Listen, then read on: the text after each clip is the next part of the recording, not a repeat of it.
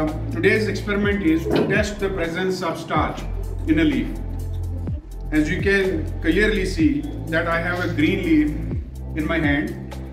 I will put this leaf in a beaker containing hot water and we have to heat this sample for at least 5 to 10 minutes.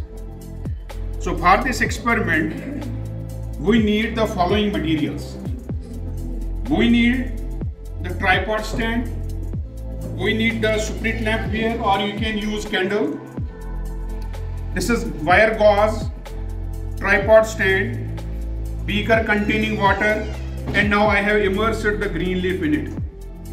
The other materials which we need or require for this experiment is we have iodine, then the test tube containing ethanol and we have majorly we have taken a green leaf outside from a fresh plant and we need the test tube for it and the dropper.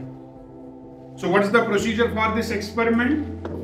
I just put this green leaf as you can see clearly the change of color in it it was green now you can see that this chlorophyll we have to kill the chlorophyll which is present in a leaf which gives the green color to the leaf and that is one of the important material for the process of photosynthesis. As you can see now clearly how color changes from green to dark green. Now you can see for 3 minutes more we can heat the sample.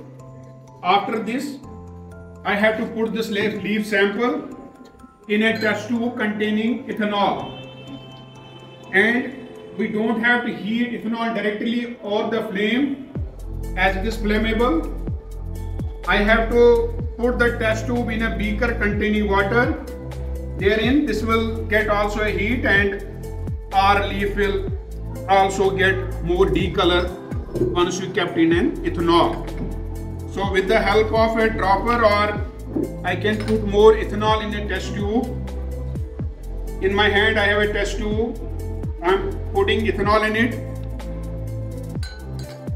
My dear students, as you can see now, all the color has just vanished. So initially it was green, now you can see that that chlorophyll is lost and you can see the color of the beaker now.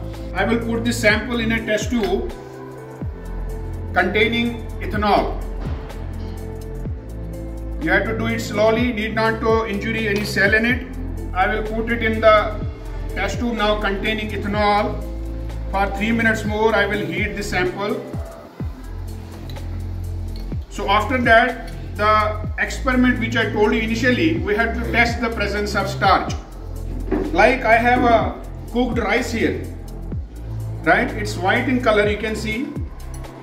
If I will put a drop of iodine on it within few seconds of time this will turn into blue to black color as now you can see here iodine it has a brownish tinge but once I put some of the this uh, rice this cooked rice in a petri dish now you can see once I add the iodine in it now you can see the color change.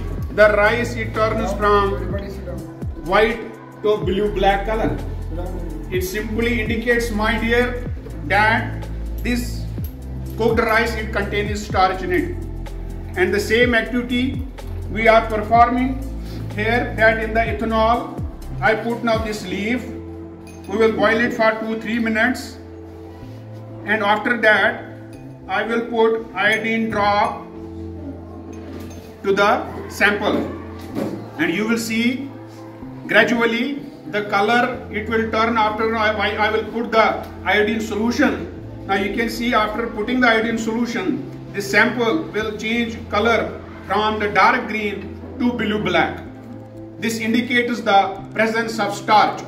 When we boil it, chlorophyll lost and now uh, I will put some of the iodine solution in it.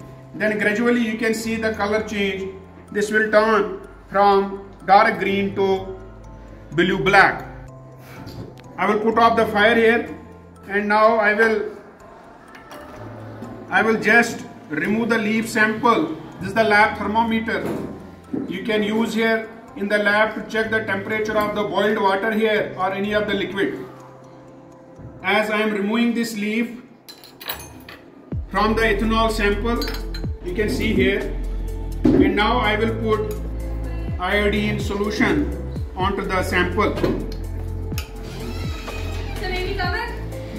Now you can see we are near to complete this experiment.